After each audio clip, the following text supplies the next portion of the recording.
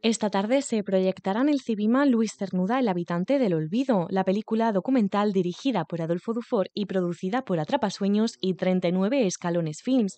La apertura de puertas se llevará a cabo a las seis y media de la tarde y la proyección comenzará a las 7. La entrada es libre y gratuita hasta completar aforo. En el acto se contará con dos invitados que han formado parte de este proyecto y además son vecinos de la localidad, Joaquín Recio y José Manuel Cabrera. Al finalizar la proyección habrá una cata de vinos de nuestras bodegas locales. El largometraje se estrenó en 2022 y ha hecho un recorrido por diferentes municipios en toda España, contando la historia del poeta sevillano perteneciente a la generación del 27, Luis Cernuda.